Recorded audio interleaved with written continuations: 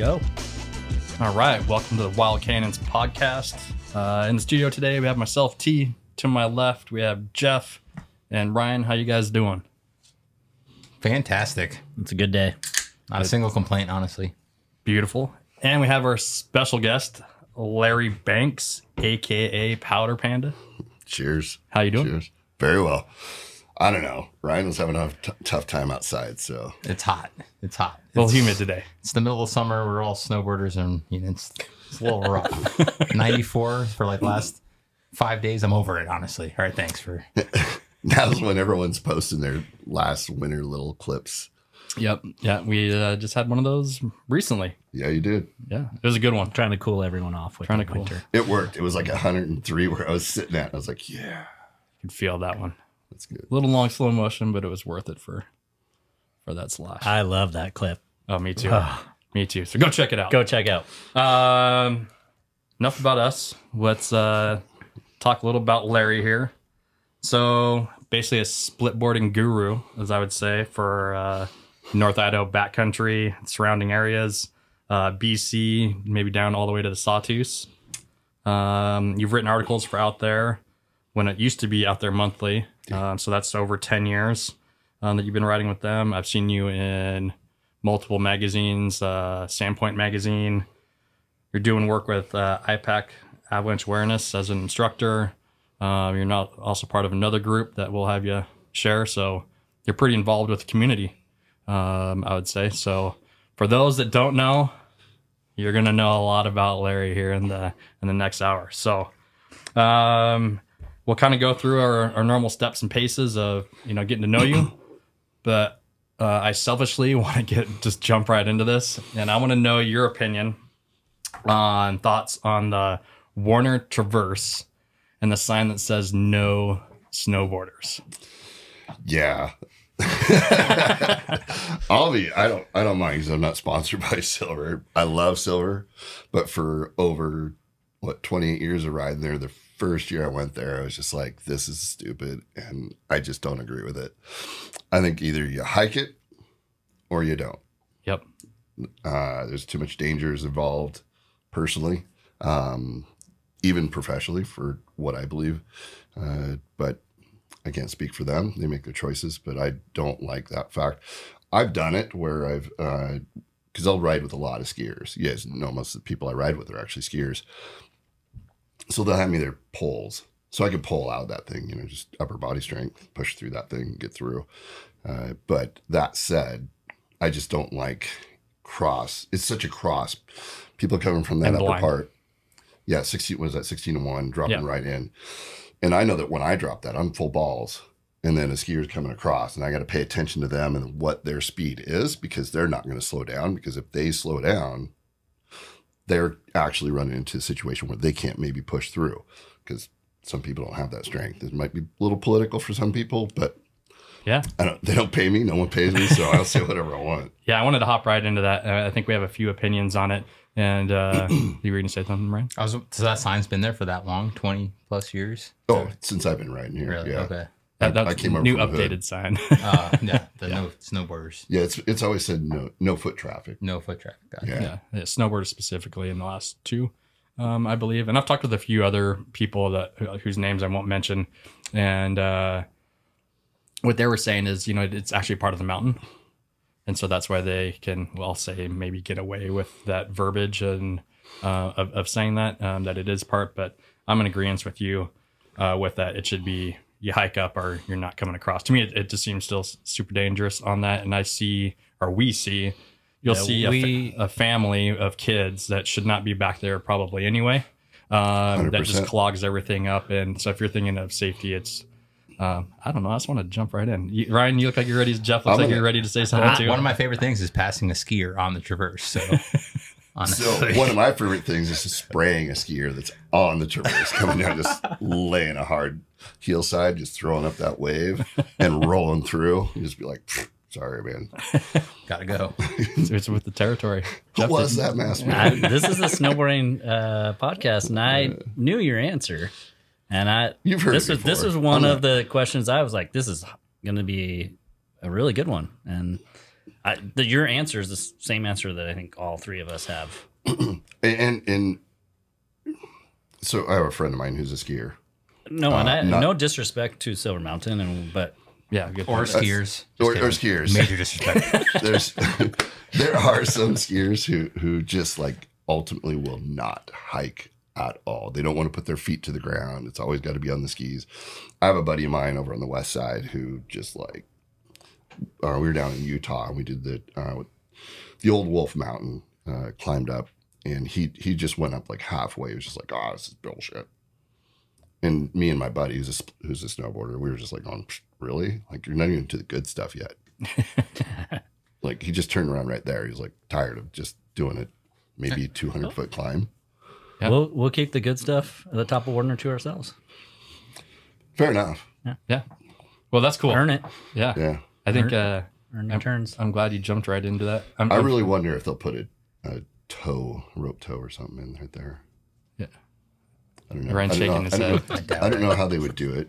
I don't know. I don't know shit, but I doubt it. Yeah, yeah, yeah. I don't. I don't see. So, at the same time, I don't mind. I mean, it leaves all that goatees and all that stuff that people don't go. Right. Um, yeah. do- the best part of Silver Mountain, in my opinion. Right. And we do have skier friends who just like totally charge that stuff. Yeah. You know, Oh, I yeah. have I have several that just go and charge it all the time.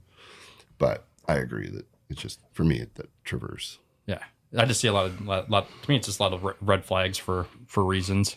Um, you know, just because you, you're, yeah, when you're coming down as a rider, um, there's a lot of unknowns. If you're looking up to, you can't.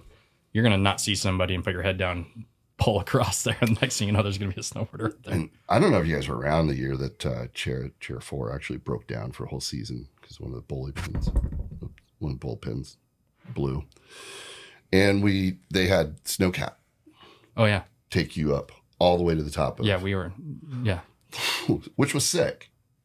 Yeah. But every Yahoo is going up there. Yeah.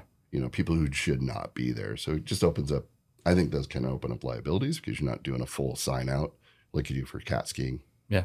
Because that is technically, you know, it's hike terrain for a reason. yeah, and that's kind of what I was looking at with that with the traverse is where you can get to go even go off the back, you know. Um, and there's some thin spots. There's creeks back there. There's 100%. if you're, and if yeah. you're taking a family back there, it's just not. it's easy to get lost or up from up there. Yeah. Well, great, great Did that answer. answer you? Yeah, that, an- that answered. Yeah, I think we knew where it was going, but I was gonna just fill in too for anybody that doesn't know what we're talking about. The Yeah. the Wardner Traverse is it's uh Wardner Peak. There's no chairlift access there, so there's a spot you get right off the chairlift, and you can ski from the chairlift around the side of Wardner, and it's uh it's only skiers can get on that. That's what we're talking about. Yeah, case, the, the face of the traverse. in case any listeners are like, what the f- are these guys talking about? yeah. Thanks, Ryan. It cuts straight across the face, Yeah, yeah. Angularly. it's very, it's definitely uh it's probably one of the most notable things of silver, I'd say, for the you know Yeah. Yep. skiers. Especially with the no snowboarder sign that we just laugh at every time when that we get there. At least they're not least Nazis anymore. So Oh my gosh. Yeah. Well, I think the Oh, lookout is 49. Lookout. 49. 49 used to be. Definitely the, No, the number one leash. The Now. lookout was bad up until last year. This year, we were only there once, I think, Yeah. but I didn't. Now they put that like quad in. and I feel like they're not looking at all. Yeah. yeah. All right. Um, keep it moving. So let's start with nickname Powder Panda. just it was actually stupid. It was uh, I had I had just had one of those beanies. It's a powder. I saw panda. that. Yeah, you did have a beam. This is old, um, and I used to do some YouTube stuff. and just never have time to, you know, the editing involved in that stuff. Ryan, you're well aware. Um, I just didn't, you know, get to where I didn't have time. But that said, I had uh, posted a video with me with a thing on. Somebody said powder panda and just stuck. Yeah. So it's been probably almost 20 years. I Right on. think. Yeah, because there's times where this Yeah. like, they're like, I'm like, oh Larry. They're like, oh Powder Panda. I'm like, yep, Larry. yeah. Well, it's interesting. I, like I've been to uh, to, to Canada. I would to, I'd go up to the um, uh, Split Fest up there, and people just yell, "Powder Panda!" yeah, And then you hear people go, oh, "Powder Panda's here," you know, and you're just like, people don't know who I am because I'm always wearing stuff. right. People don't know how old I am. They just think that I'm just this punk kid that's riding. you know. Well, I think it's all you know. That I think uh, we think of the community in this area. uh, if you would say one benefit, maybe of some of the social media you would have is that we've been able to collect, you know, collectively get together through social media in that in that aspect, and so people only know each other by handles, even though you know handles, riding style, boards they're on on the mountain, um, and it's like, oh, we're part of the community. But if you saw them out, you'd be like, uh, is that you? Is it not you? Um, so that's, I think that's kind of a cool aspect of it. Uh, I think it's a great name. For yeah, it. social media has opened up quite a bit where you're meeting people from. I met people from all over the world, and uh, which has been great. Like we're, I'm just like super good friends with a buddy of mine in uh, UK, France. Really good buddy of mine in uh, Utah. We were talking about earlier, Huck Snow, who's the first uh, split boarder to do the shooting gallery.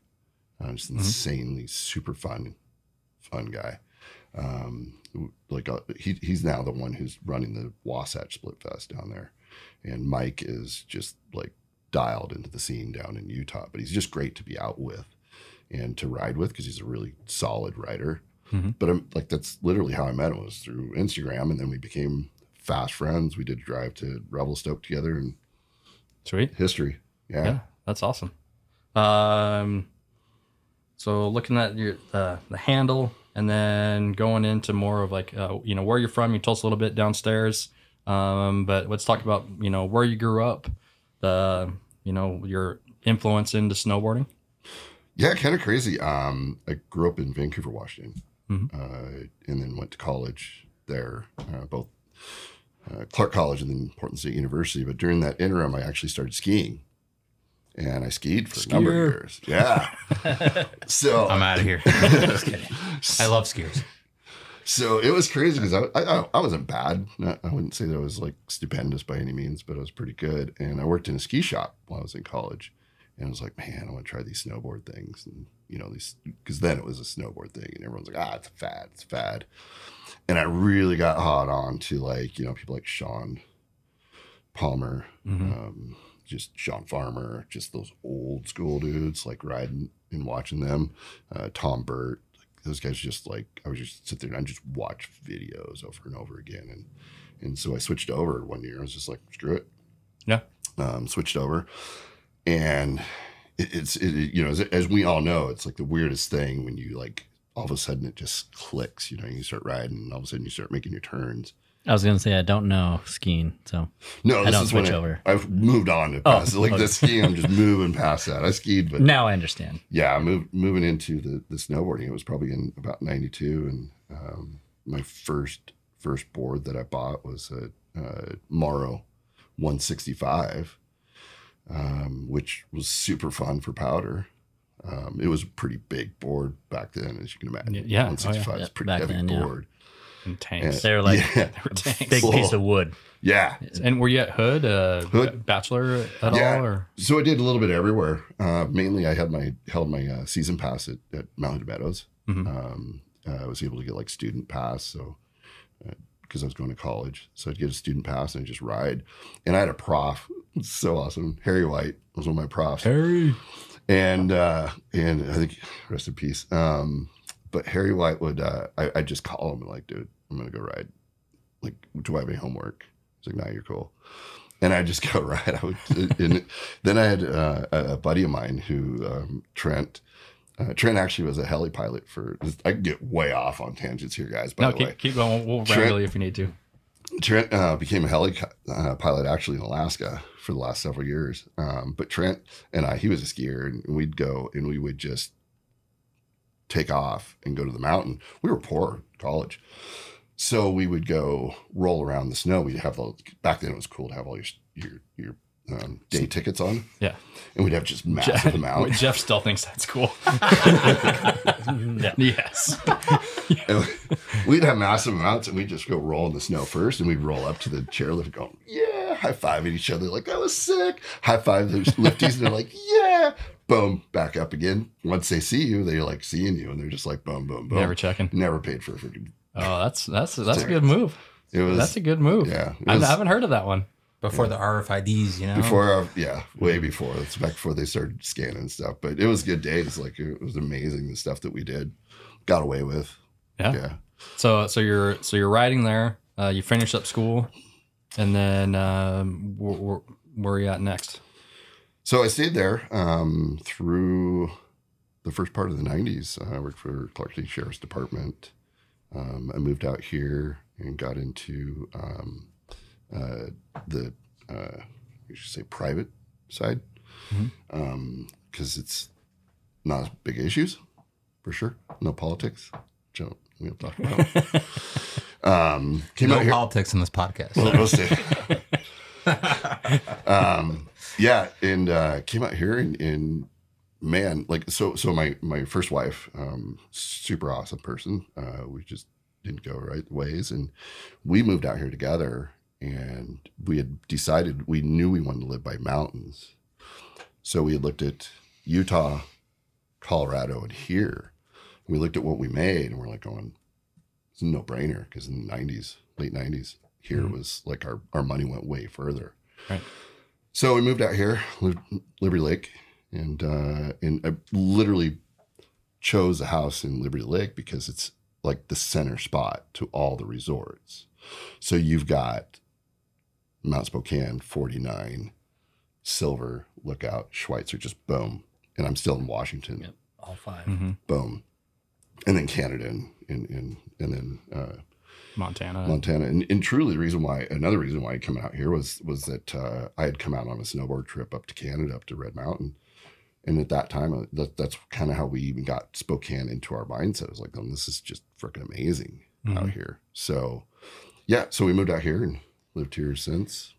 Um, and I I love the area, like the, the amount of stuff that we have here obviously we get into the whole backcountry side of things, but back Yeah. then it wasn't. I wasn't doing. I wasn't doing backcountry other than you know your typical snowcat or heli ski stuff. Um, I wasn't doing um, body assisted Oh, at that time. We have questions for that. We'll yeah, yeah, yeah. We'll we'll definitely get into that. dive into that. Um, and I guess maybe one question before we get into you know that you're interested in the backcountry and, and what you're doing back there.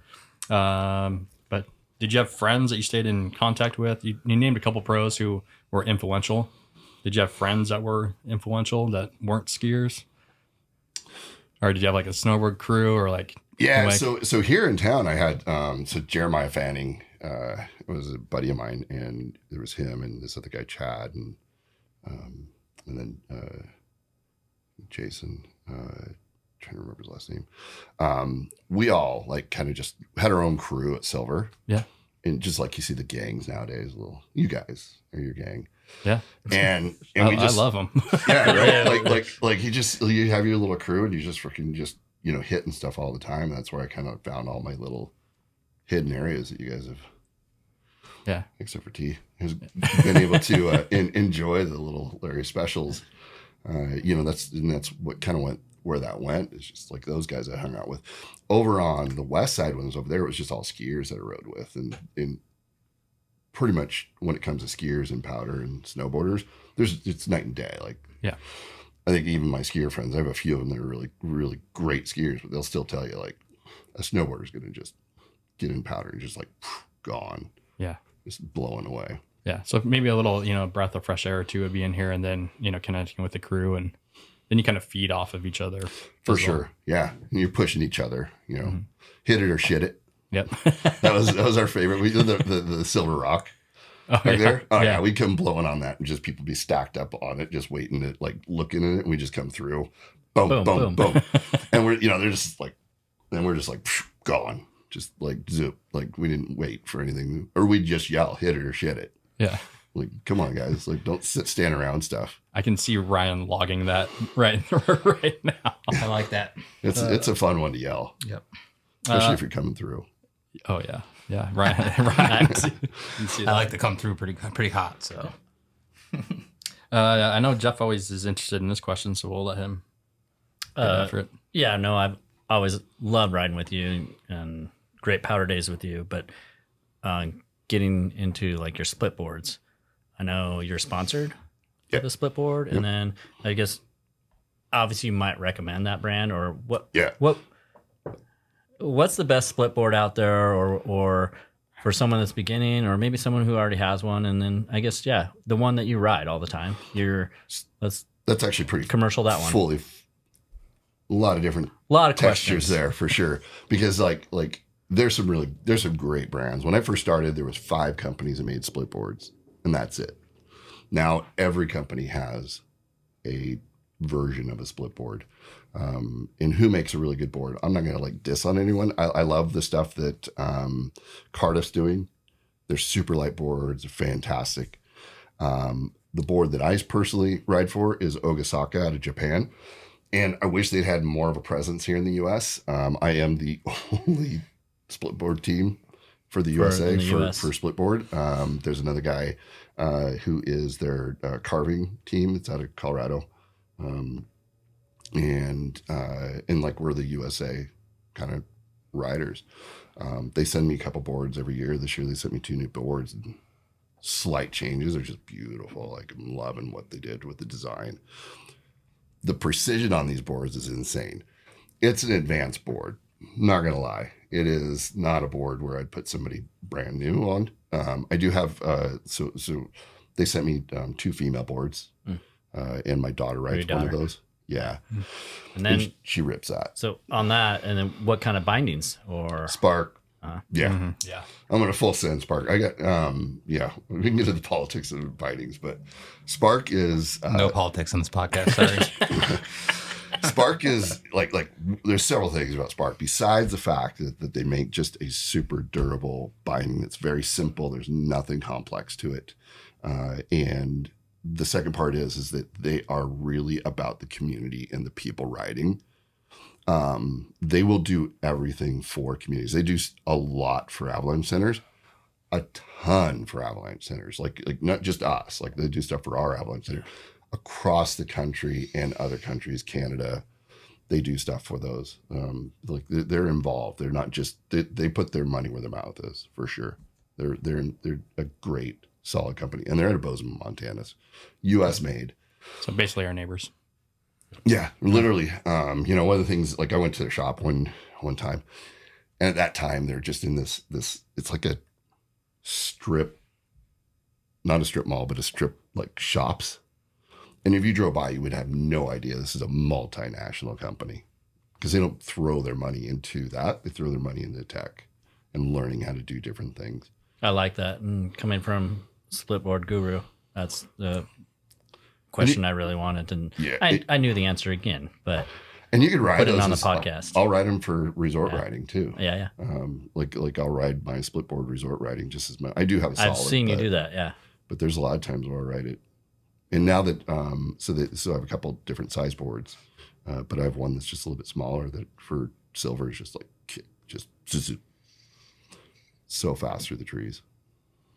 Yeah, no, you Like men- yeah, you've mentioned that as well when we've you know messaged back and forth and yeah, no, that's thank, thank you for sharing and that's sick that you have you know a sponsor that's you know backing you in that way and sending boards and hopefully you can get more presence.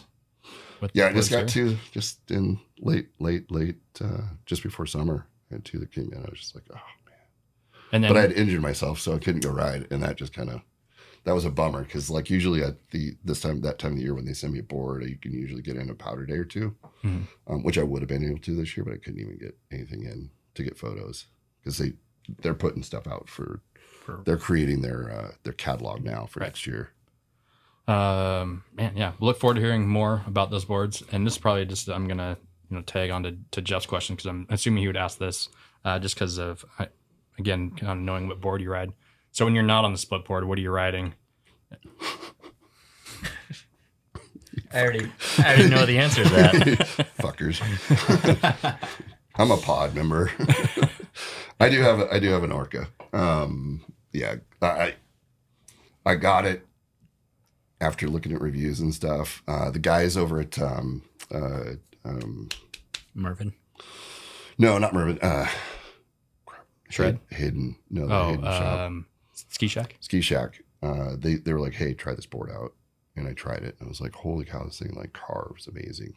It wasn't powder that I tried it in um, the first first time, and then I was like, "I really like what this does." And so, anyways, so they gave me a really kick ass deal and Yeah. threw me down one, and I've been riding it since. And I I do love it. I need a new one. I need a new board this year. Is that the actually. original Orca? No, it's the second Second. second, Second. generation. Yeah, um, and I don't know what I'm going to do this year for a solid. um, Josh at, at, up at Solnix um, is like I'm like been talking to him about something. Yeah. Just don't know. I mean, because it's nice to have a solid on because when you know you're not going to do anything backcountry, having a solid is kind of cool. Um, there's but Kind of, it's kind of cool. kind of cool. well, they're just lighter. Uh, uh, no, and, and that's one thing about uh, the Ogasakas. They're probably a little bit heavier than most of the split boards out there. Do you what bindings do you have on your solid?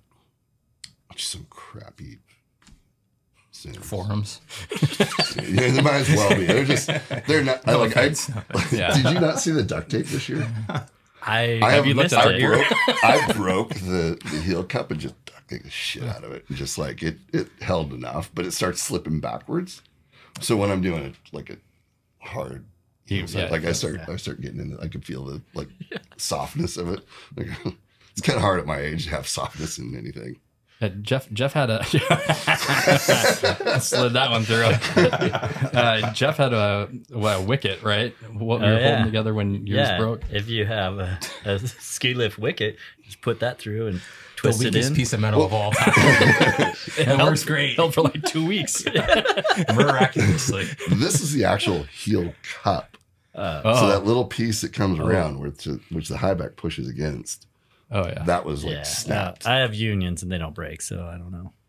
I don't have that problem. But just need to tighten your bolts. Pretty sure they broke, but Yeah, if there's anything I can tell people, check your bolts all the time.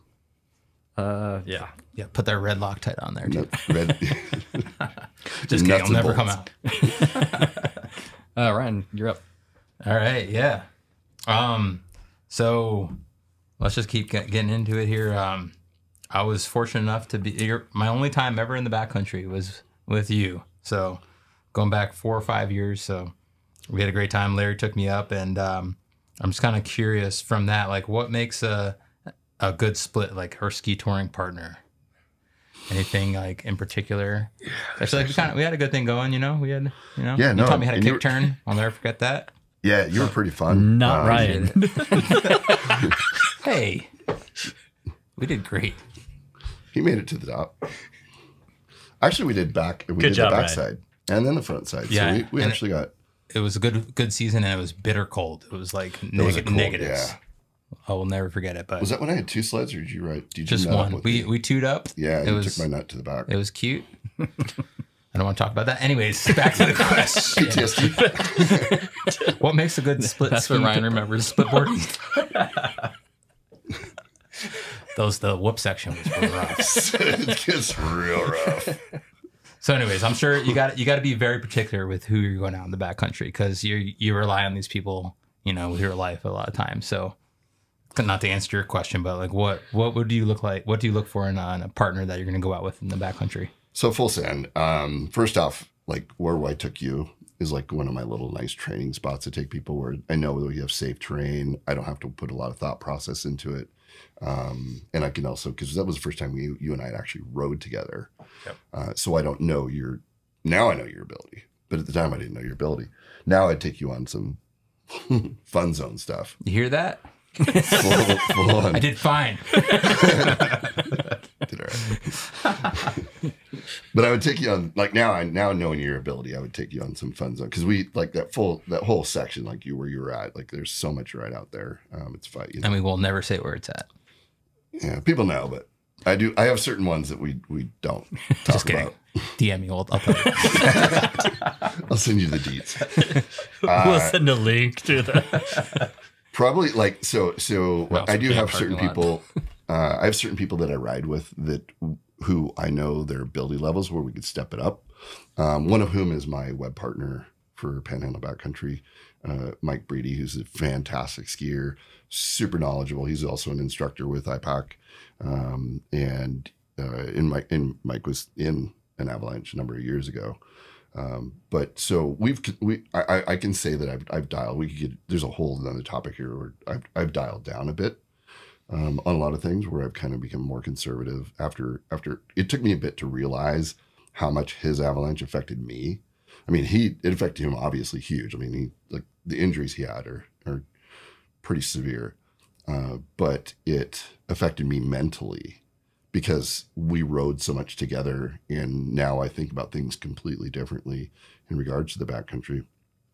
But that said, um, people who have like, you know, they're, they're some time under their belt with being in the backcountry for one. And then the other part is having that education level, right? Um, Ryan.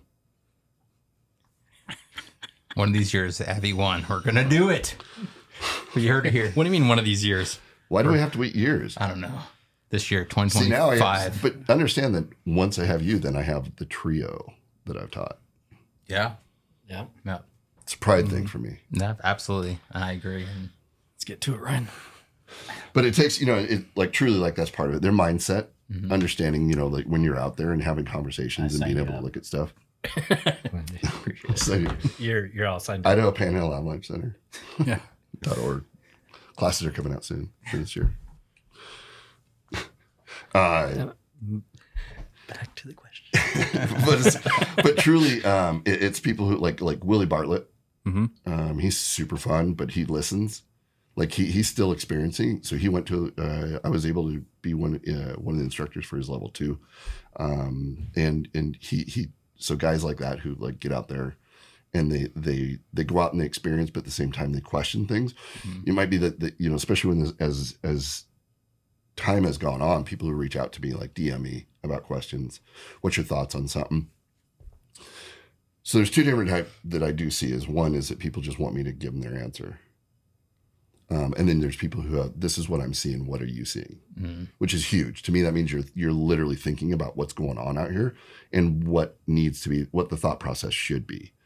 Because I could tell you what what to do, and I'm going to keep it really conservative if I'm going to tell you that. I want to hear what you have to say. Like I have um, a buddy of mine in, in Missoula who's super accomplished out of um, out of the whole Bitterroots and everything um, out of Montana, Dave Blukert. Dave and I will communicate through a season and talk about what he's seeing there and what I'm seeing here because it is two different bit of snowpacks, but at the same time, there's a lot of similarities. So being able to have that conversation with people, um, Joey Vosberg out of Revelstoke, um, Canada, which they have a completely different snowpack. However, they do still see things that we see, or hey, just having conversations about different things with those people because they're they're just so knowledgeable. Knowing that you don't know everything is the number one thing because I don't know everything by mar by far. Like it's I, I learn every single year. Every time I teach a course, I learn something or just kind of pick something up like, man, I really should think about this a little bit more.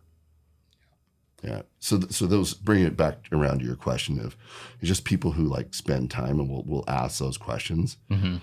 but also will be part of the conversation, not wanting just the answer, but will supply their own thought processes to what, what they see and what they're uh, feeling out there themselves. For sure. So just time, experience, education is definitely yeah. a big one.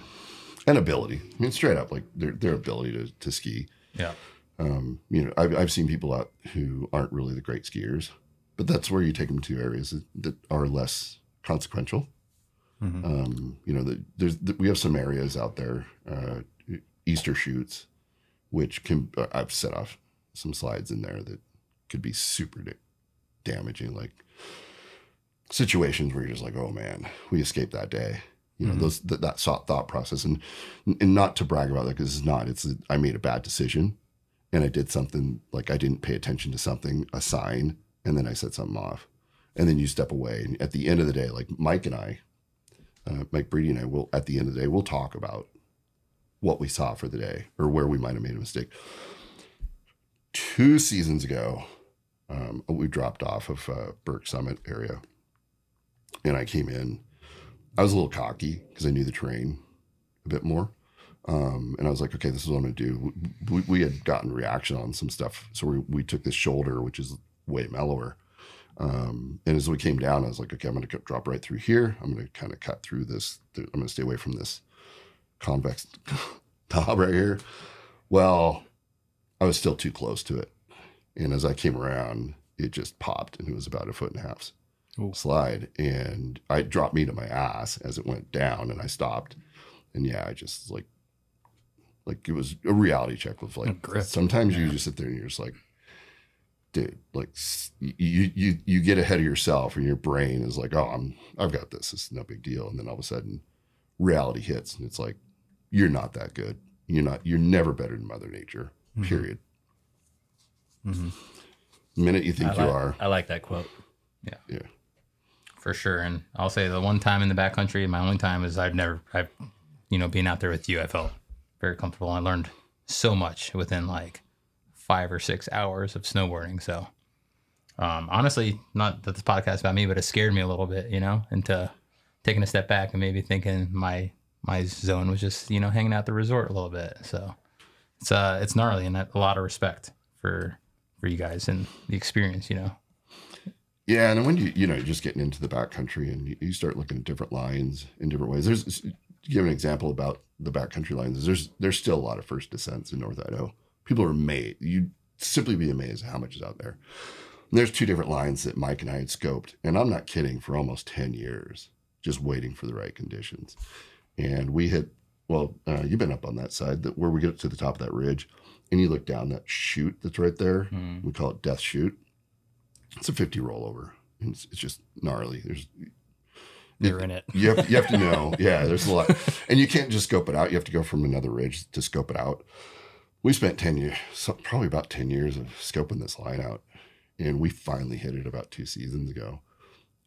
I still set off a slide in there, and then Mike set off a slide that came started coming towards me. Like it was like we were gripped at the top. We dug pit, everything, everything was in line, and we thought we were just like, this is good to go. And you're dropping into a hole where there's absolutely no cell service. Uh, Mike Mike does have a has a satellite transceiver um, on him. Like that's one of the things we carry, and and and it, it was just it was gripped at the top. Like you you could cut it, but that so that's the only person I would have done that line with Mm-hmm. because of his skill set. Right. Yeah. Well, you kind of touched on it there. Now we're going to get into. We wanted to get into IPAC a bunch here, but um, my last question, we'll pass it off here, is uh, kind of like avalanche safety and technology. You know, we've seen lots of new things coming up. Beacons, I feel like, is like the number one biggest safety technology advancement in the last few years. Do you see anything coming next that might, you know, be the next big thing for avalanche safety? Mainly, uh, uh, beacons are to You're going to see a, a jump in beacons here soon. Um, I believe Mammut's coming out with a new one. Um, I just got a ma- new Mammoth last year, but uh, they're but they're coming out with a new one that's supposed to be like really tech. Mm. Um, when it comes to those things, it just comes down to like practice, though. I mean, you guys have used them, and and it the it's so easy now to use those, but it doesn't take anything to practice with those. I think you you can make fun of using it as well because like when I go to resorts, like if I go to Whistler, for instance, you go into a bar, flick it on and just go around and you meet people. Just go find someone. Oh, hey. And What you people just today? like like people love that stuff. Like you do that stuff, you meet somebody just hanging out. So many different ways like that. I, I think it was great. There was uh, one time just right offside the the lodge on what run is that? It's uh, uh right off chair one. It's not Happy Jack, but you had the Oh, you yeah, had the, when you were they were doing the instructing class. and Jeff and I and uh, it was Asher. We roll up and we had our receivers on. So Oh, then yeah. it just everybody was on search mode and we rolled up and it was like and everyone was looking over and then we locked eyes and said hello to you and uh, you're like this is a perfect example of you know For sure. being, being safe. which which I think know, is inbounds. great when people wear them at resorts. I, I truly believe in you should wear them at resorts. Um, it, it's no big deal. Essentially, as you guys know, tree wells. I'll talk about tree wells all the time. People think that oh, tree wells. Mhm. Like no, tree wells are the most dangerous. Yeah. And you're out with your buddies, they can just freaking find you super fast. And yeah, big mountain that I mean, for it was years and years, consecutive years that someone was passing away in tree wells. Yeah. For sure. And it does. I mean, even to this day, it just doesn't get talked about as much as Mm-hmm. um, you know, someone's just gone, they can't find them, then they find them in a tree well in the spring, kind of thing. Yeah, that's so sad. Yeah. But yeah, we're it is very sad. and they're easy. I mean, they're smaller, they're easy to pack around.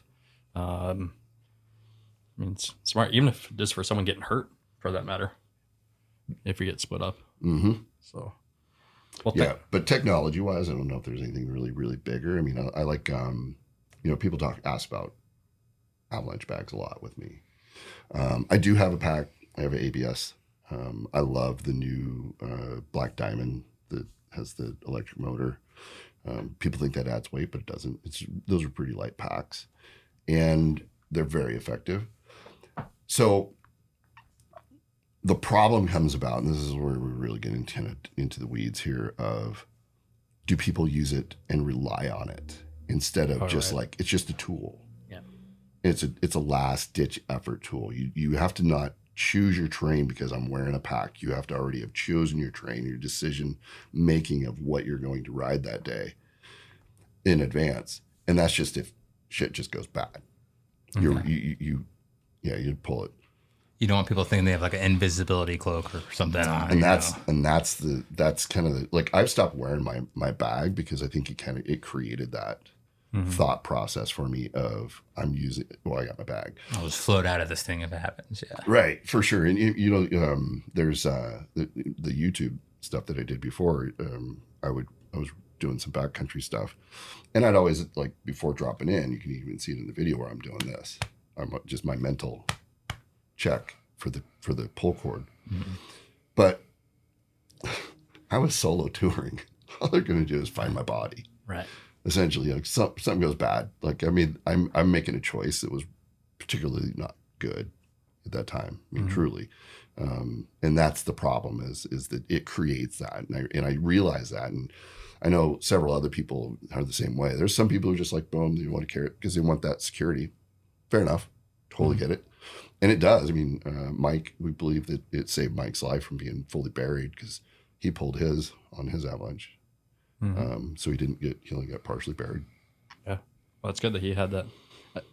Um, I know also they would talk about, you know, like that when you're saying like the terrain too, because they're saying sometimes depending on, you know, the terrain traps that you're, that are below, it could be worse off if than not.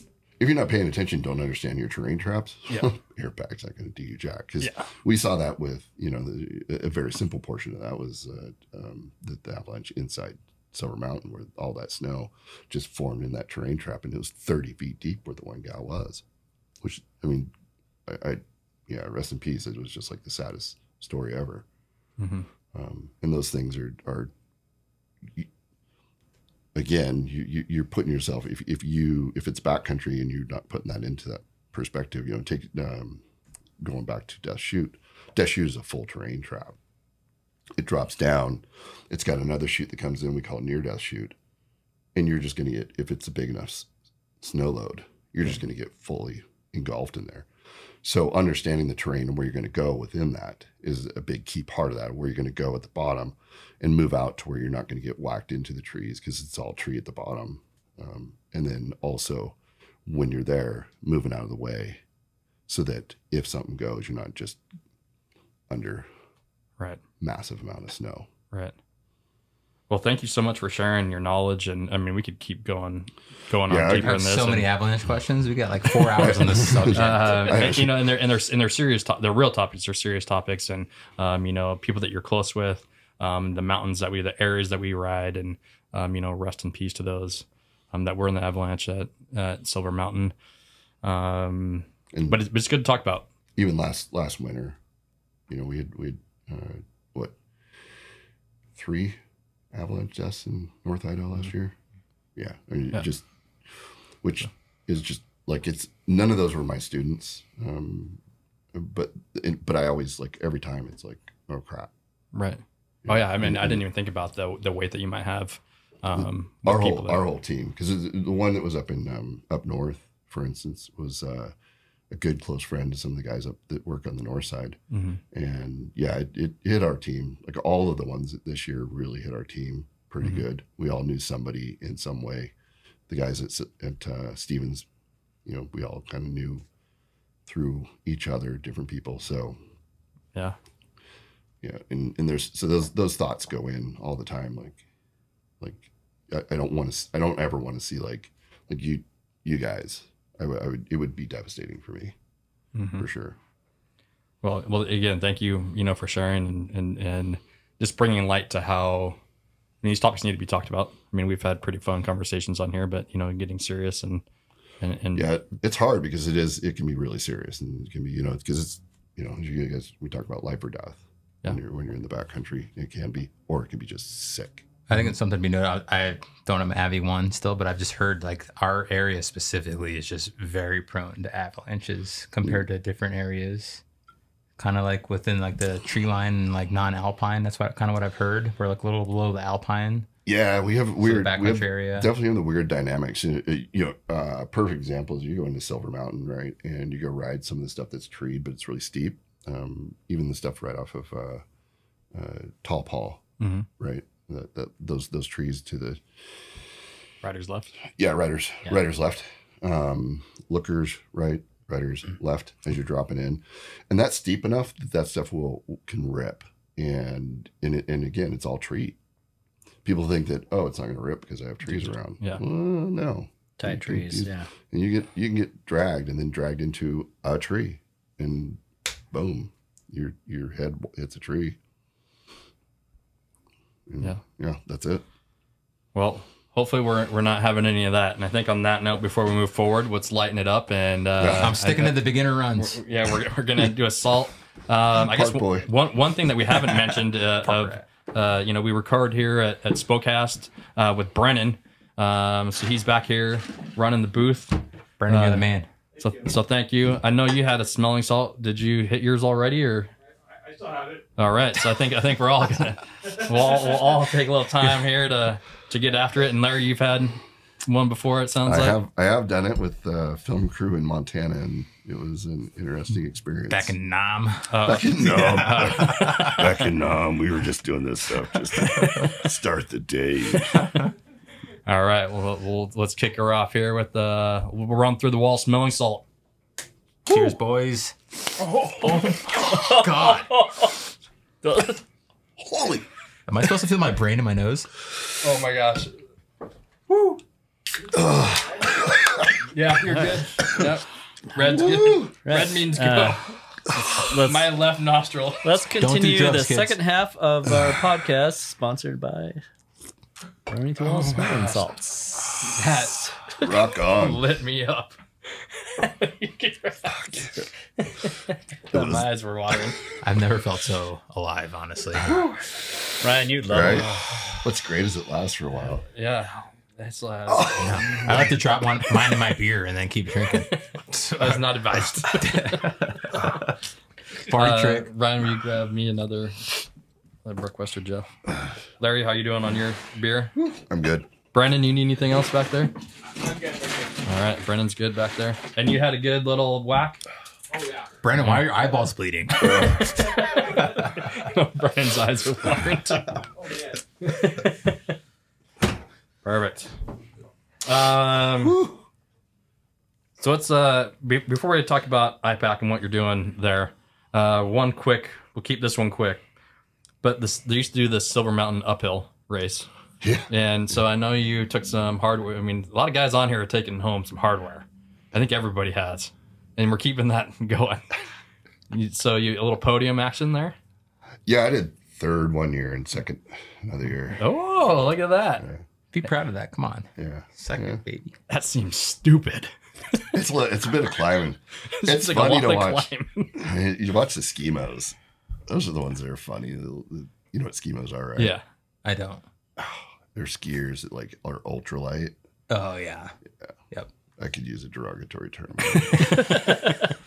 no, geez, they're, they're still they're still skiers, Uh, but they'll just like they'll just lap your ass. Like our gear is going to be heavier. It's not as as efficient. Yeah. I think one one season I do I used my hard boots, and like it makes a significant difference. Oh, I'm sure. in That speed. stiffness, yeah. Um, Jason Keene, who's um, a firefighter and one of the original um, uh, Panhandle Backcountry members, guy's just a freaking goat, and just hauled ass that thing. I'm like, oh, good to see you, bud. And and how long is that? Is it is it a timed event? Or Yeah, so the first year was uh was you did it in like I'm trying to remember how they did it the first year. You did three laps. Um, and then they changed it to where you did you could do soft core or hardcore. So you could do two laps or three laps. One lap, two laps, or three laps, depending on what you were something like that. Yeah. So you guys are talking about riding nut the butt, hardcore, Hardcore. softcore. That's how we roll. uh, that's awesome. So I wonder if that'll come back. I don't think I've seen. I don't. I don't think it will. Yeah. Um, they have too much activity there now, too, Yeah. which is pretty hard to shut off that mountain. Um, the one guy from the ski patrol, Drew, I think his name was, was really the one who who spearheaded a lot of that, and then Willie was part of that back then. And um, yeah, I don't think that they'll bring that back. It's just I think the, the logistics of it is a lot. Yeah. Uh, between you got to have the ski patrol up on the mountain doing stuff. Uh, obviously, shut down a whole section of that, which you know Yeah. some people just don't like. It was a good party though. Like we'd have those big tents at the bottom, and just everyone afterwards just drinking and cold as fucking drinking at the bottom. Just like yeah, it was pretty fun. You're not going to see me anywhere near that event. I'll tell you that much. Uh, if it does come back, maybe to watch, but uh, I don't know. I, I- Uphill. Yeah, no chairlift. it's, it's not even. What are we doing it's- here? It's not just that it's uphill. It's uphill at a rate At- of speed. Yeah. Yeah, It's like, no, um, I'd rather just. Nowadays, I take my time moving up the mountain. I let I let the other the young guys break the trail. there you go. Yep. Mike does awesome. Mike is just superior riding of, of putting in a track going uphill, and I just sit right behind him and just like it's like a highway once he goes through. That was one thing I learned from there that I never like knew before was just how much people take pride in their skin track. There's a lot. I'm of just pride. trying to farm. Dude. I'm like, dude, let's just go. No, like straight line, hook, kick, turn, another straight line. If it looks like shit, do it again. Uh, Mad respect. uh, I never knew that world existed. And then if you lay in a skin track, like a lot of people are going to judge you on that. Oh, there's a lot of shit Yeah. in those for sure. Especially like if you're like a, a the one time I went heli skiing, like you can see the skin traps from a skin tracks from a heli, and you're just like, oh, the fuck were they doing? There are some of those true. that's probably Japanese Well- and I's track. T was leading. So understand full send though. If they're in heli train skinning up, why don't you have a snowmobile? you just yeah, just wasting time. Just, yeah. just roll that thing straight up. That's what's great about Canada is you go up there and um, I did some stuff. A uh, buddy of mine, Mike Holmes, that lives out of Squamish and super great snowboarder. And uh, he lives in Squamish, and we went up there for a week and rode. And you're just going up onto the glaciers. And you just you, these are mountains that you're going up, but you don't realize they're mountains. And you're just going straight up. Turn your sled around, push it down, and ride behind it, and go straight. Like the easiest This is pretty cool. the easiest backcountry snowboarding you could do in the world. Yeah, insane. Or doubling up, Canadian style. Just Yeah. Those guys are such good riders. I mean, it's, it's insanely good. It's a whole nother talent. Snowmobilers, and I mean, they're both. You know, They're yeah. They're really good sledders too. right? Super good sledders, super good snowboarders. Like these are guys that you look at in, in, in at any normal mountain, you're like, oh, that guy's probably sponsored, and they're just like, no, nope. Just a plumber from Canada, you know. yeah, yeah. Well, he's, he was he was really good with his investments. He was yeah. But like you know, life, lifestyles with that. Good with the machine. Speaking of the machines, uh, what are you running? Skidoo. Yeah, and Yeah, you've been on those a lot because I was going to question yeah, I'm a skidoo dude. Yeah. So so interesting enough, going back to the, my Canadian people, is they make they'll make a point of ride the same sleds as what you your buddies ride because their shit breaks down. You Yeah. parts. That's really what it comes down to. Yeah, yeah, that's smart. Um, And I, I love I do love skidoo. I think Polaris is a, is a good sled. I won't knock them too bad. Although we do like you'll see the memes out Yeah. there, and we'll send each other's memes, just ripping on each other. Everyone who rides different sleds. As long as it's not an Arctic Cat, that's all I know. That's. Pretty much. 'Cause if you're running Yeah. an Arctic Cat, you should probably quit. No offense, I don't know. Uh, I love it. yeah. Uh, so let's touch on IPAC. We won't, you know, go real deep into it, but just maybe just saying like how you got connected, you know, with those guys, and um, maybe just what you what you're doing. Yeah. So um, Mike and I started um, Panhandle Backcountry. Uh, geez. How about how about you how about you explain that? Panhandle. Yeah, yeah, Yeah, so Panhandle Backcountry is just a, a user forum. Um, that s- s- what happened is is Mike and I started riding together.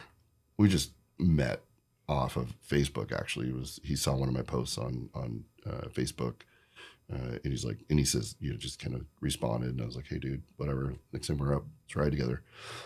started from that. We started riding together and doing some backcountry stuff, and and uh, and then I didn't know what he did for work. I had no idea what he did for work. He didn't know what I did for work. We just go, we go ride. We never talked about work. It was just so chill. Like, like it's, it's the way kind of you want it, where you're The not best talking kind of about friendships. Yeah, right.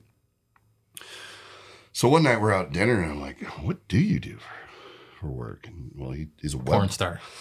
sorry. I knew this is where I was going. Sorry. Never mind. Never mind. I just had to thought. He'll love that one. so, uh, so, so, so he's a web designer. He actually created a social media website when he was in college that I don't think it was called teenspot.com or something like that. And he sold it. Was Teen porn. spot. Sorry. No, I'm sorry. sorry. You know. Yeah. So he sold that. Allegedly. he sold that but i didn't i didn't know what he did until then. And, and so i travel a lot for work and when i'm traveling i'm on the road and i'm just like i always have just thoughts going through my head and i was like holy shit. All these different areas canada the sierras cascades whatever they have these they have these user forums that are these backcountry user forums. Like we need one out here to connect the community the backcountry community. We just figured it'd just be like a couple hundred people to get together and do that stuff. So so I called him up. I was like, "Hey, dude, you know, we met up for for lunch, and I was like, I think this would be a great idea because your your expertise." And he's like, "Yeah." So we created Panhandle Backcountry, and I think we're like three or four thousand members now.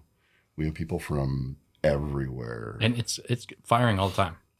Yeah, now it's like especially during during the, during the season. Boy, during COVID, it was nuts. Um, but it, uh, it it- it's grown exponentially, and we get people from all over the world because they're looking for different things to do.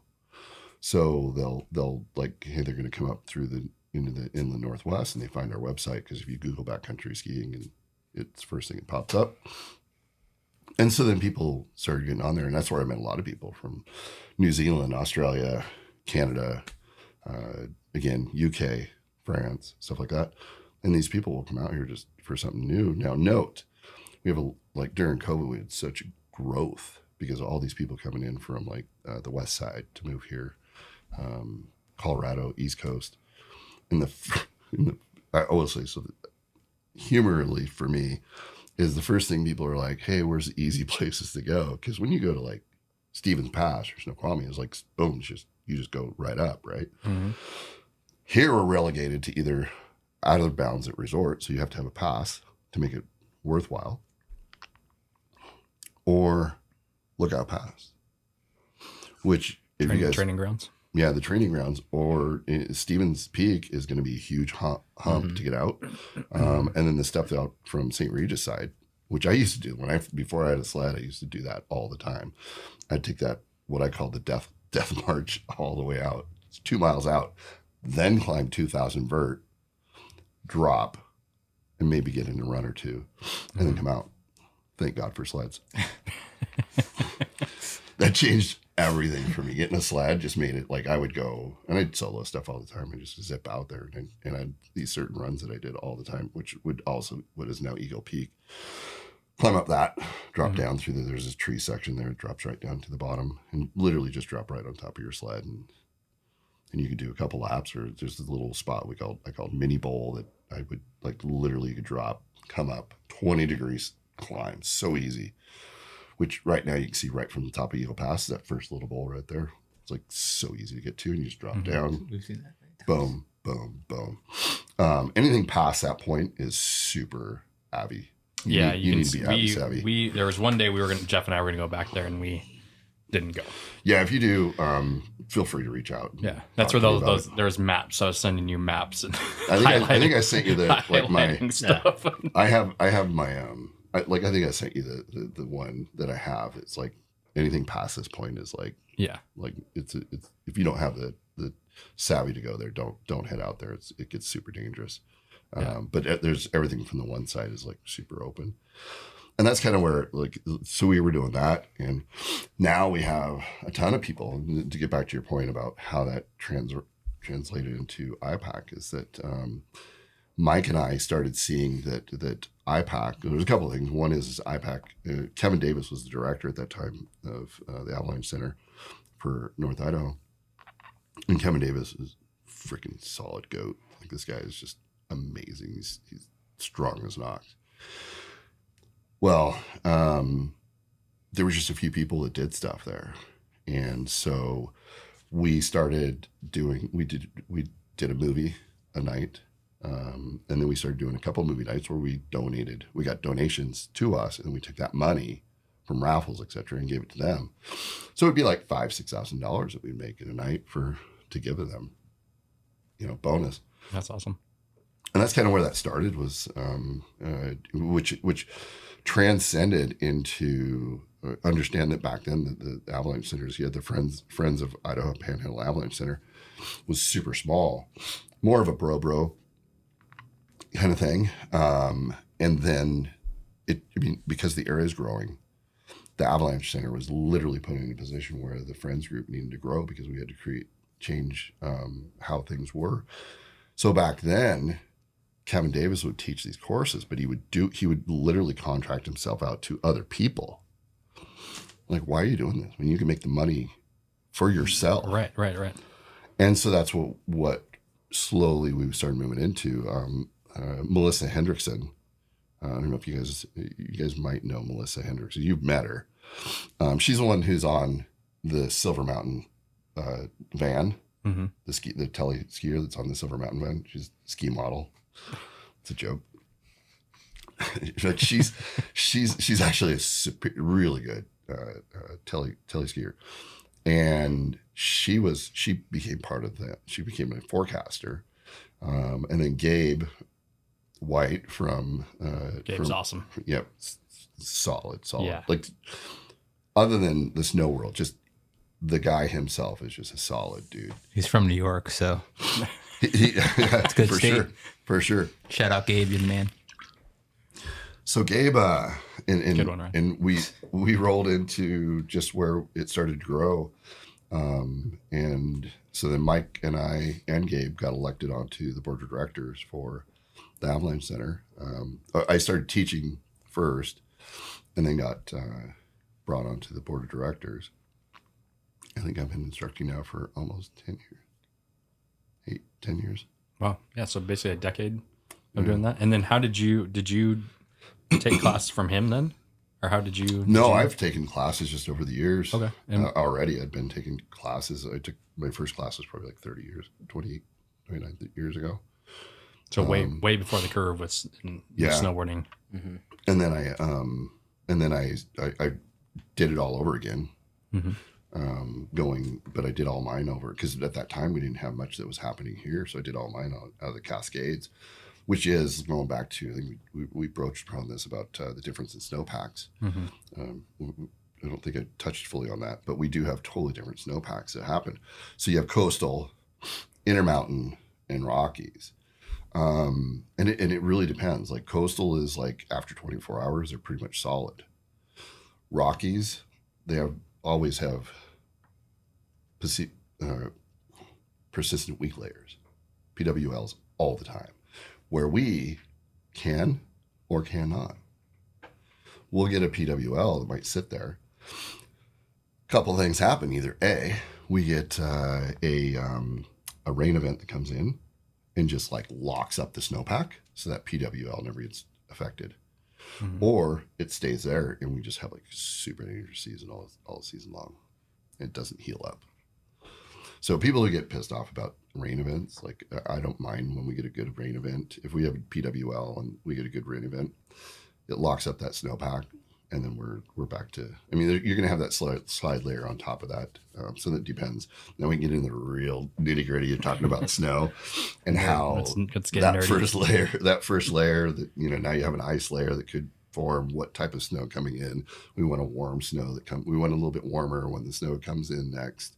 We don't want it frozen.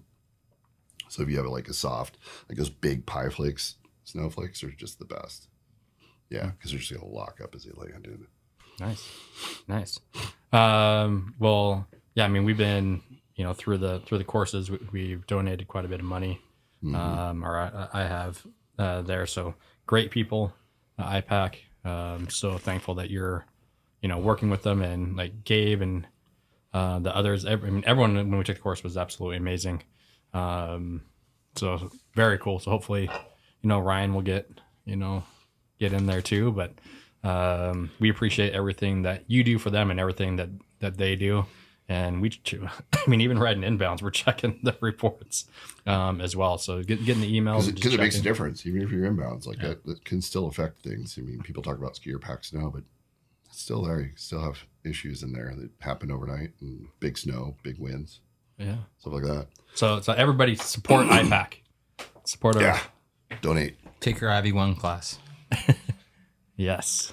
I feel Yes. pretty, pretty. I, I feel really um, like a lot of love when it comes to the people that I've trained, like like you guys. Um, and I see people all the time that, I, that were in my courses, and then those those that have moved up to Mhm. become um, instructors now, like Dash Camp, who's an insanely good snowboarder out of Yeah, Schweitzer. He was X Yeah. Games, and now he's one of our instructors. Like he's just like a solid, solid dude Yeah. um, so many people that, that we brought on um, who, who we brought from like literally from the ranks where they volunteered and moved their way up took courses and Yeah. um, there's a lot of pride in that and we have such a solid crew I, I'll I'll put up our instructors to anyone because they're all super knowledgeable and have learned a lot and they're they're very inquisitive themselves they don't act like they know everything hmm right? And then now that we have a new, um, well, essentially new two years in, um, but John, who's our uh, director of education, like has really kind of moved us to another level for our courses, and now we're actually doing, you know, snowmobile. Level Yeah. one Yeah. I've seen, courses too. seen those, uh, quite a few of those actually. Yeah, it'll get better. Um, we just had a big meeting uh, last week actually to talk about how that's going to look going forward because we're going to make some changes to make it way more like because you can't, it's two totally different worlds. Skiers and and snowmobilers, fully different people. Um, yeah, you have people that are skiers or snowboarders that snowmobile, but you just have people that are just like they're full on snowboard snow, snowmobilers, and their their mindset is completely different. So the way we want to look at things differently and kind of change up how we're teaching. Mhm. And we're coming up with some really good ideas. And we have a brand new um, actual director of who's a full time position for uh, the Forest Service that's director of the Avalanche Center now that just came on and super nice guy. Just met him last week, but I think it's going to be some really big changes.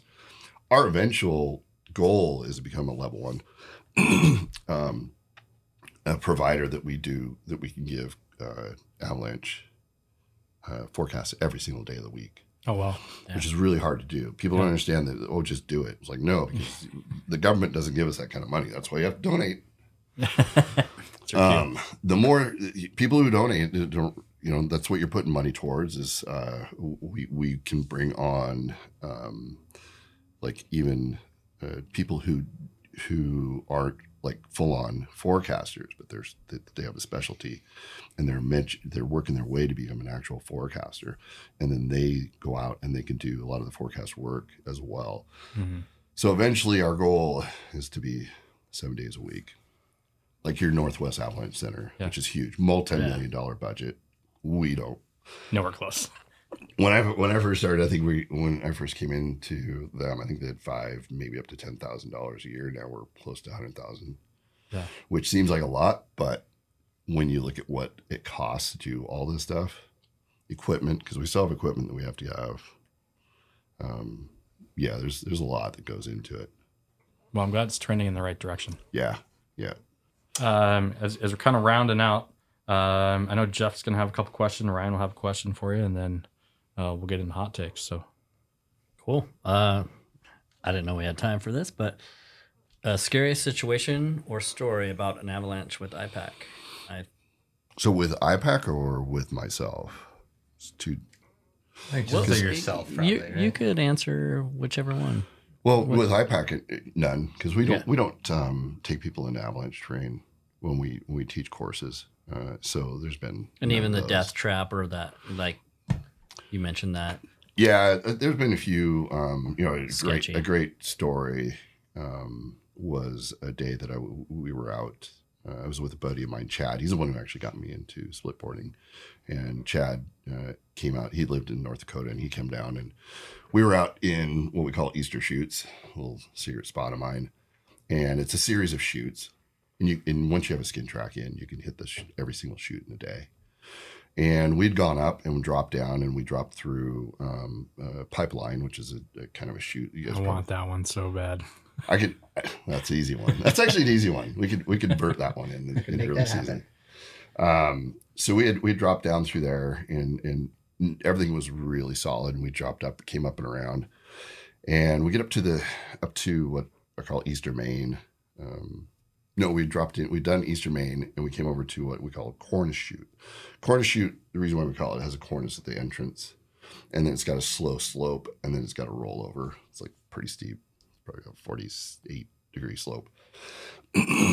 and we're sitting at the top of that, and I go, okay, if you drop right here, you're going to be really good. Drop right down through. Trees down here, tuck in behind that tree down there to the to the left. Safe zone. Yeah, looker's left the, the nice little safe zone. So he got a sick line, and I've been and I'm looking at it. I'm sitting there, and there's like this little spot right here, and um, if you if you guys watch uh, the um, the famous potato two. Um, there's a there's a, a little ridge that runs through there called we call it the thin fin. Um, so the only one who has that line is Essex, actually. Oh, yeah. Essex. Yeah, I've been eyeing it. It's got to be the Oh, right God. conditions at the right time to hit this. It's just it's a little fin. It's like it's it's it's Alaska esque fin that drops down, but it's got a nice ramp on it on the side, and uh, and I come up, drop in there, and I just like lay it really hard toe side, and then come around, and I hear this this like. It's just you know, uh, if, if you guys have been around avalanches, it's a very distinctive sound. And I look back and I see the whole freaking slope cut. And I just 45'd out straight out of the at the apron, straight out to the to the bottom to the safe zone. And the whole thing just ripped on through down. And uh and it wasn't it was only about eight eight inch um, crown on it, but it's just the size of that slope. And I was just like, holy, like it, it just woke me up. One one of those that woke me up, like, wow. And we we, we left that top after that. It was like we're out. Yeah. So the thing is, is like, what what mistakes? Like, that's where we start talking about what mistakes did I just make there? Well, it would have been a sick photo. It was just in the sun sunlight, and that's where my mistake was. The stuff off to the right was all shade. Shade. It was perfectly north facing, super cold. Nothing changed. This had a slight temperature gradient. It was just enough. Just made it snap. I went um, four days later up there to go look at it and saw the fracture line and everything kind of put together what I did fully wrong and and that's what I did and like now I know because it's more of a um, east facing slope so it gets a little it has like this one spot that just gets like kind of a southerly southeast face it gets just that slight Oh. temperature gradient That's a good, scurious situation. Then, and you went back to assess it, and you're like, "That's what mistake I made." yeah then- full on like that's and I didn't write it that day when I Yeah. went assessed it I went Right. did something super chill Question on that. You said you're on your toe edge, right? Yeah. You think if you were on your heel edge, things might have been a little different? I don't know. I just feel like being on your toe edge when shit's popping off, that's where you want to be. Well, so the reason why really I was matters, so it was a ramp like this, right? So I just went up on the ramp and cranked it around, Big toe turn. just big. Gee, but then you fat. towed out 45 or? heel out. Oh, okay. Yep. Gotcha. My heel out was was because the the the, the chute went this way okay. with the ramp here. This was all really good over here, but this is the ramp. And as soon as I I knew that once I was past this spot to the if I as I curved around and I looked back and I saw it, I had time to react and shoot hard left, and then um and then moved on just out of the way. You'll learn that in your class. Yeah. 45. Yeah. 45. Ryan, what do you got? what do you got, Ryan? Um, all right, well, moving on. And it's uh, 95 degrees. So, uh, do you have any summer hobbies that you take to get you through the long summer? Uh, mountain bike a bit, hike, do trail running. Yeah. Go to the gym. Gotcha. Mountain biking? uh, Anything? Anything on that mount, mountain biking for a while, or I have been. I used to be a bit more um, aggressive, but these days it's getting way harder. So is it downhill then? Right, cross country. enduro, down- okay, enduro, So, yeah, yeah. So so I'll climb up and then drop down. Yeah. Yeah, um, yeah. I, I've I've chilled out a bit because it's ground hurts more than snow, and and it, and you'll find that as you get older, those all those pains that you have right now are Yeah, when you get older, Ryan. are just they I'm finding out now, so I'm not looking forward to this. Older they, fuck. it it gets pretty stupid when you when we start moving in. He has to hear us, bitch, bitch and moan. It's it, Ibuprofen sponsor us. Well, sweet. Um, before we kind of close out here, uh, we do have our uh, couple hot takes that we that we want to get through.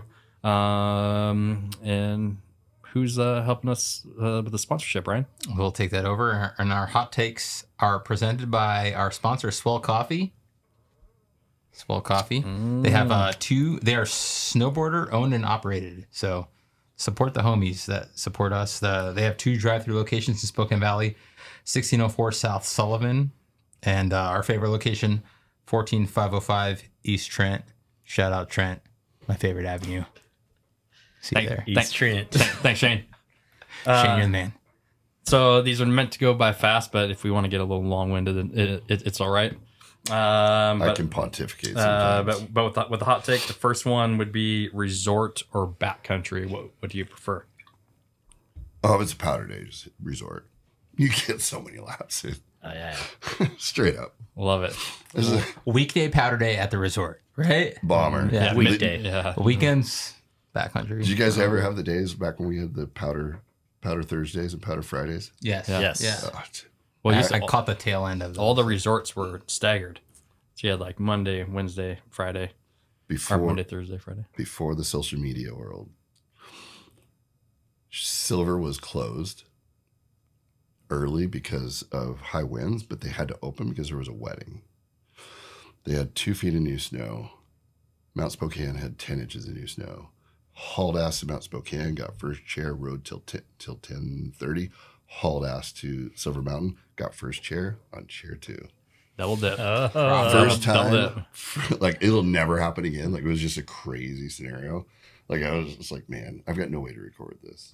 Oh, It was, it was. That's it was 2002. I have no way to record this. It was, it was about 2002 for sure. uh, not that. No, that's that's good. Um, I don't know. I guess I was I was surprised with that answer. I thought you were Me for too. sure. I thought you first. Oh, I you were love backcountry, but like if you could burn turns, And I, I, I- I will say say this because we like to get up there early, but we always will see you up there, and I think it's kind of the respect part of it, and you can kind of chime in on this. But He has it's also, secret spots, too. You have your He's secret like- spots, but it's also like the the acknowledgement of like you're gonna go to your spot, we're gonna go to our spot, you know, and See you at it's the all, bar. It's Yeah. all boom. We give each other the fist, and we're off, and that's kind of how it goes. I mean, yeah, I, I've been.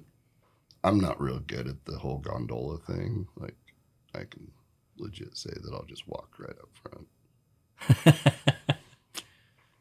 well, As you should. as you should, as you should. I don't know, but Okay. I actually, actually had someone say something to me once, like that's rude, and I was like, Who cares? No. Tell- tell me You're no like, me. single up front.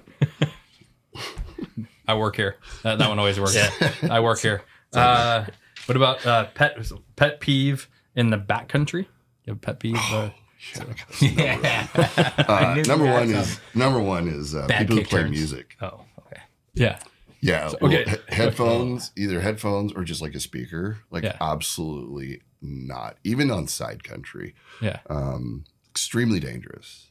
Yeah. You, you, the whole point of being out there, one is to be, you know, like it is being with nature. I mean, let's face it. Let's love the quiet and just the, the the sounds that are involved. But the other part of that is is that we're listening to, to snow. Like when Mike and I tour, we're talk we're talking while we're touring.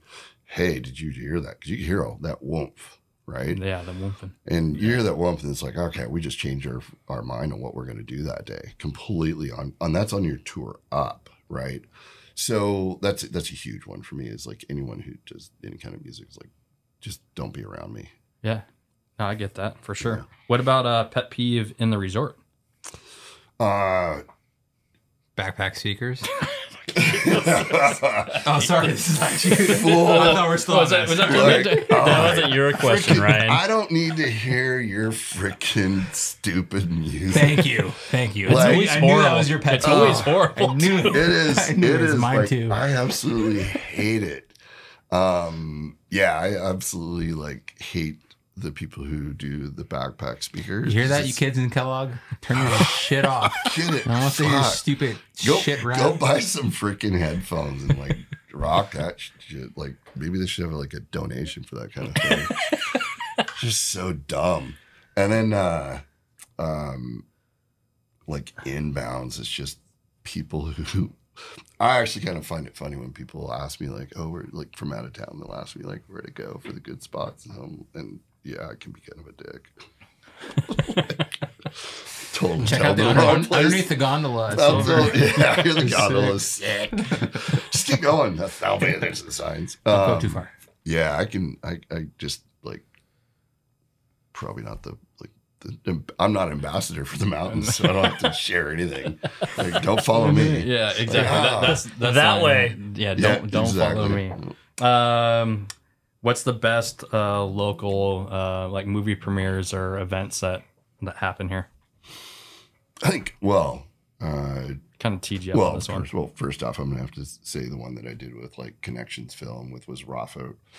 Um, Rafael uh, is a um, Chilean uh, guy that I know. He's a snowboarder who did that. You guys, did you guys go to the No, Connections I, film? No, I missed that one.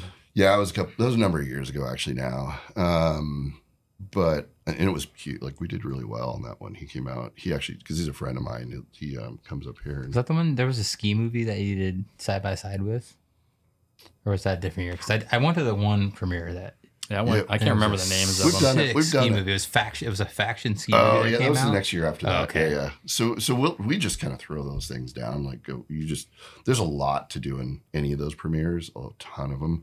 Um, I think uh, we're gonna try and get Solnix to do something. Um, holding the old shred here, but um, I love Sol. You know, Solnix is super rad people there, and uh, New think- new ownership, just new for ownership those that and- don't know. New ownership. and um, I think we're gonna. I think they're gonna do something. Hopefully this this year again.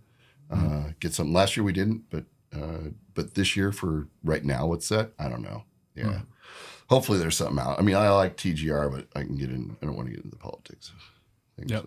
Because what was But- it, Ryan? What was the, what's the show about? There are no politics on the show. Uh, Absolutely none. But but TGR knows how. I mean, they they've got the budget for some Yeah. good stuff. I also know they're very uh, not good on communicating um, as well. So I'll just kind of throw it. Unless throw, the politics involve throw, a, uh, throw, throw that. a rope to Mount Spokane. We're not involved. yeah, Right? Yeah, we're definitely on board on that one. We're out. But but it's there. Uh, so last question of our, our our slow hot takes, slow burn, slow burn takes would be the best run of your life. What's do you have a memorable run that you'd say is your best run in your life? I have a feeling it involves a helicopter. I will say, yeah. And I want to hear the story. yeah. So so Eagle Pass. Slow take. Um, so uh, if people know like who Craig Kelly is, Craig Kelly was um, uh, essentially the godfather of snowboarding and truly the first true backcountry, really got in the backcountry besides John Buffery, who's also out of Revelstoke. Um, those guys are kind of really started the whole backcountry scene uh, in, in split boarding. Um, well, Craig, as we know, you know, passed away in an avalanche uh, up there, and he would have been the first ACMG split board guide. Um, so, but had he had he not passed, but it ended up being um, Scott Newsome, who is the owner, uh, lead guide for Eagle Pass Heli, and any movies that are out right now, like that come out, um, they have stuff that comes out of Eagle Pass. I mean, And just the- tell uh, listeners to where that is too if they Re- don't know. Revelstoke, Revelstoke, Montana, and the Monashee Mountains up there. Um, BC. and, and parts British Sorry. Columbia. Yep, uh, part of the Selkirks, and then uh, the Monashee Mountains. Just his his uh, tenure that he has is just amazing stuff. And we were up there. Uh, well, I told Ryan about this earlier. Is I was up there with um, Mike Maru, who's uh, uh, insanely good sponsored snowboarder. The first snowboarder that's done the the shooting gallery in, in Utah. Um, Jason Keene and another buddy of mine, uh, Jason, uh, who goes by Moose Knuckles, on uh, That's for another episode. full on, yeah, full on, uh, and myself. So the four of us, and uh, in in in Scott was our lead guide. And he took us to this uh, this couloir called Magic Couloir, which he'll it's, it's their filming couloir they film on, and bluebird day. Actually, if you go on Instagram, you can go through and you, there's a photo shot of us sitting at the entrance of the couloir. He and I sitting there, and it was taken by Jason of us, and he and I are at the right at the entrance of that thing, just a killer with the with all the Mount in the background. It's just insane. So we go to so we're so, so Scott drops in, and Jason. So there's Jason uh, Moose Knuckles, and then Jason Keene, and then also uh, uh, Maru. And Maru's looking at Keene like, "Is my camera on for his GoPro?" And these guys are just doing their thing, and I'm like, "On fuck you guys!" And I just drop in. So you look at the the video on it is hilarious because they're like doing this, and all you see is me like snake in the line. It wasn't my I don't have turn. time for this. It was not my turn, and I'm like the worst. Like if you go heli with me, I'm a dick. Like I will take like you hesitation. Noted. It's not a good thing. I, that is, that is me when we go cat skiing. Who wants to go? Boom. Don't even, I'm not even gonna say. I'm just gonna go. Like, all right, later. I'm out. Uh, so, anyways, we dropped that line. It was it was like freaking. We went all the way to the almost to the road. Um, so so probably about 45, 5,000 vert. By the time we got to the bottom, my quads were just fucking trashed.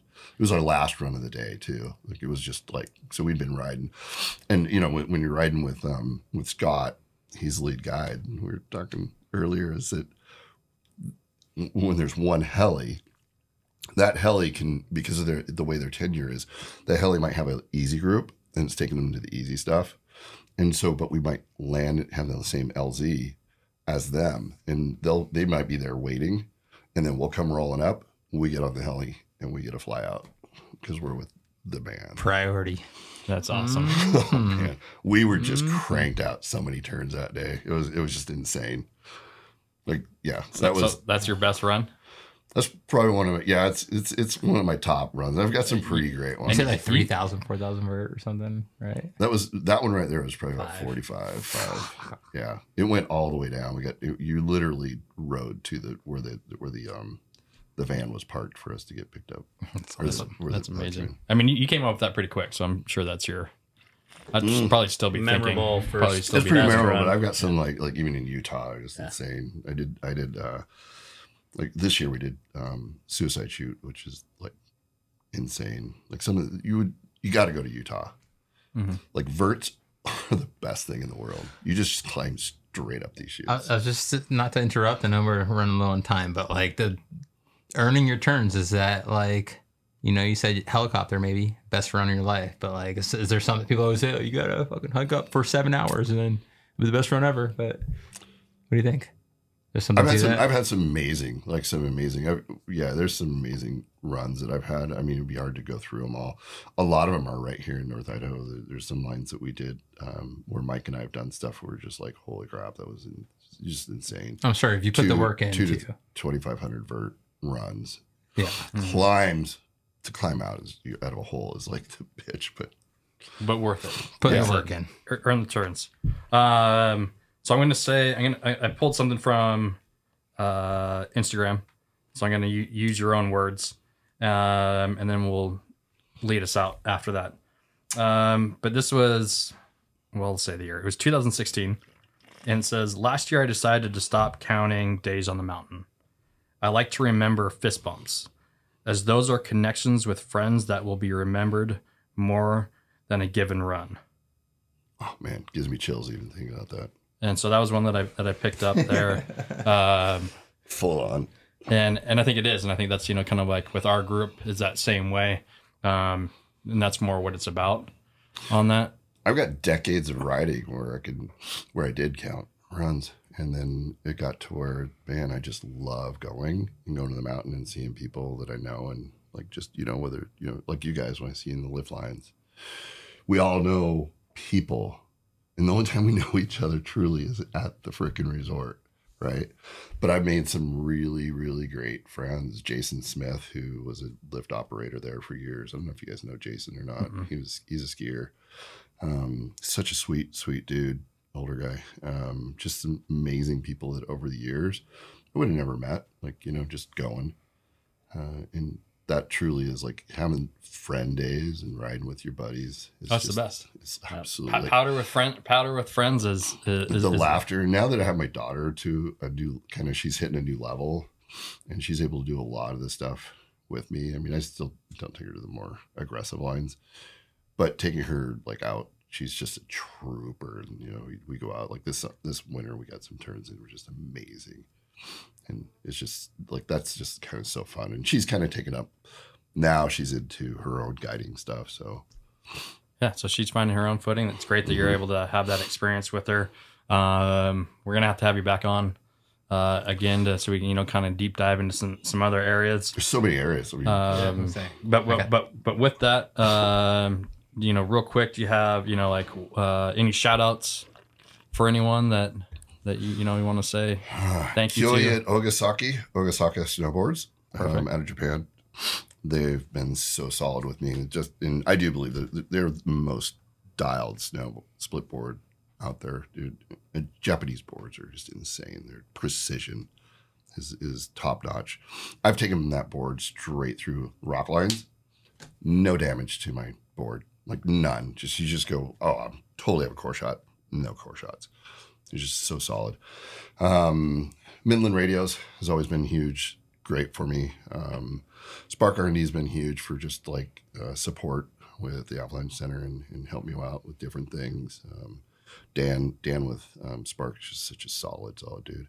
Um, Josh at Shred, gotta throw him out. Yep, for sure. Uh, Rory Mhm. up at 7B Board Shop, like Yep, those guys awesome. are just like just great super crew. Um, I'm really fortunate that over the years I've gotten to meet people and and and they like help me maybe help me out with different things that they don't need to. I mean, I'm a, I'm a, I'm a shitty snowboarder. Not shit. He's being he's being modest. He's not. There's so many people you- that are just insanely good riders out there, and I just I, I truly feel blessed that I've been able to, even with through all my injuries that I've had, and or I know some of my injuries, like I've I've pretty significant injuries over the years that, uh, but you know, people still like believe in me and want to want me to ride and want to learn from me. So Yeah. and I love teaching different people. I love taking somebody new into the backcountry, Ryan knows, and who just never touched anything, just went, "Oh, this is this is interesting. This is cool." Mhm. Yeah, Well, thank you so much for taking the time. Um, I know you know we kind of went back and forth at one Yeah, time to get here, and then uh, uh, no, no, no. I was just like you know like try to get you in, and then just random was like, hey, can you come this this week? And you're like, got it. So We need two more episodes with Larry. yeah, so we'll, we'll get Larry back in here. Uh, but dude, thank you so much for for coming. Uh, we appreciate it. Yep. Thank you, Larry. thank you, Jeff. Larry the man. Yep. And that's our show. Awesome. Thanks, yeah. guys. Yeah.